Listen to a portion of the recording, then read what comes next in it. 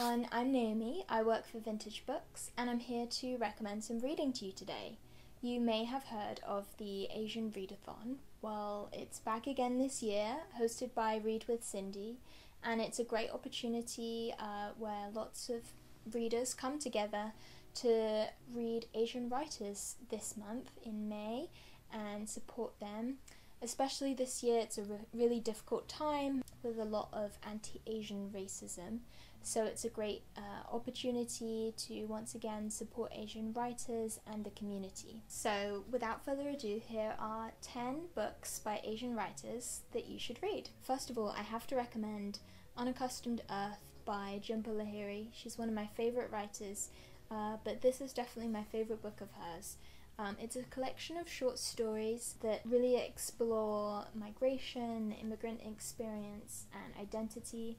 Uh, and intergenerational relationships. It's uh, set in America, India, Italy, all sorts of different places. And yes, short stories, so great to dip into. Next, I would have to recommend An Yu's book, Braised Pork. It is her debut novel, which came out earlier this year, and it's really stunning. Uh, it's a story set in Beijing, and it's about a woman going through grief, uh, and that journey takes her to Tibet. It's very surreal at times, um, but very uh, engrossing story. And if you enjoyed The Vegetarian by Han Kang, uh, I would recommend this for you. This is just a proof edition, I'm afraid, but I do want to recommend Minor Feelings by Cathy Park Hong, especially if you enjoyed British or Why I'm No Longer Talking to White People About Race. I have underlined things on almost every single page of this book.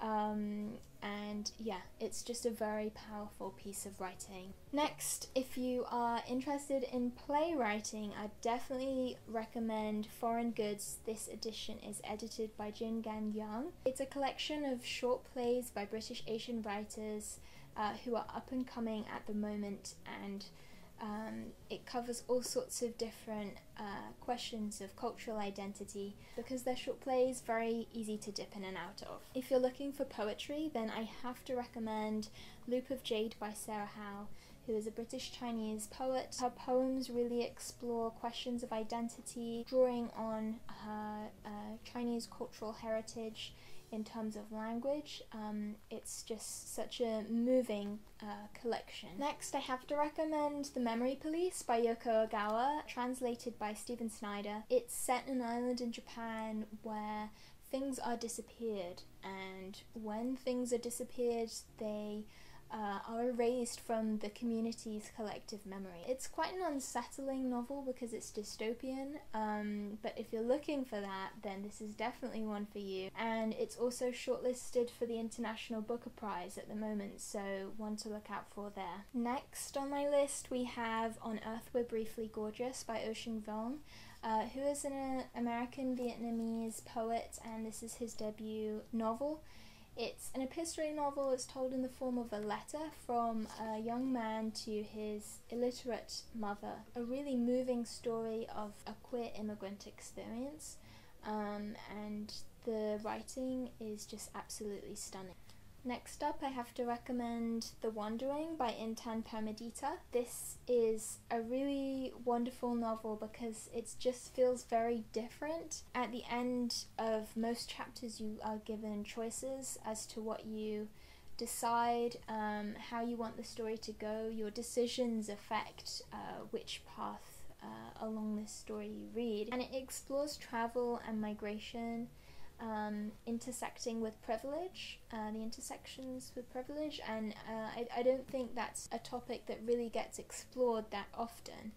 And in Intan Paramaditha does it extremely well. Next, we have Starling Days by Rowan Hisayo Buchanan, and I will never not recommend this book. It is such a beautiful, softly written exploration of the characters, uh, who are Mina and her husband Oscar. And Mina has really struggled with mental health, so uh, they travel to the UK from New York. They take time out of their lives whilst Mina is trying to reset and focus on um, her mental health. She is faced with all sorts of questions about happiness. What is happiness? What is that point of achieving it? And meanwhile, Oscar is dealing with identity crises of his own, wondering if he's ever going to be Japanese enough for his father. At the same time, it's a story of queer heartache, so I would really recommend it. And finally, Djinn Patrol by Deepa Anappara. It's such a fun book to read, and it's inspired by Deepa Anappara's uh, own experiences of being a journalist in India, looking into uh, missing children and those who are just simply forgotten by society. Um, so, as well as being a really fun, light-hearted read in its tone, it also grapples with really serious social issues. So that's it for my recommendations. Uh, I hope you enjoyed that, and uh, let us know how you get on with your reading.